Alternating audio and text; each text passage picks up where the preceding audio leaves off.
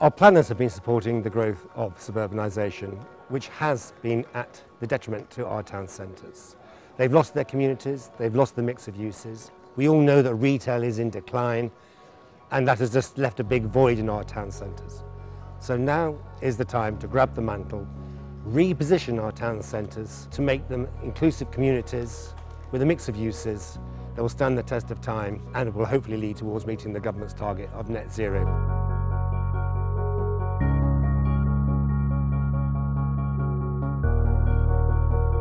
Coventry's historical city centre used to be a truly mixed-use community.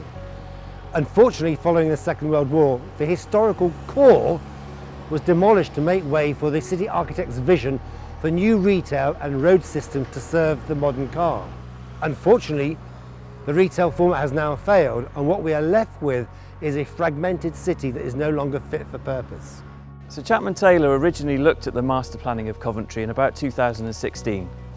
We took inspiration from the original street patterns, from Gibson's original master plan, and we wanted to overturn the predominance of retail and turn Coventry back into an innovative piece of placemaking. In reality, we need to look to the past and understand what elements created sustainable communities. The art lies in blending the mix of uses to create places that are safe, clean, green and sustainable for the future. A great part of this process is that the local authority has shown leadership and has listened to the community to understand the best requirements of the city centre and then partnered with the private sector to drive forward that change.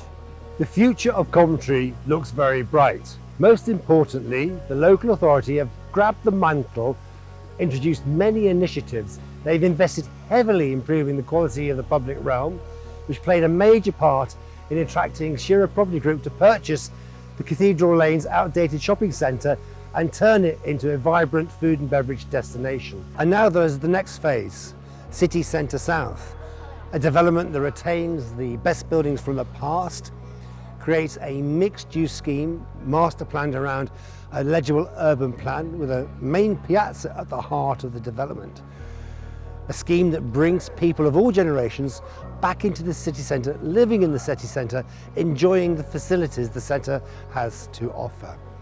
A sustainable solution that will stand the test of time for today's and future generations.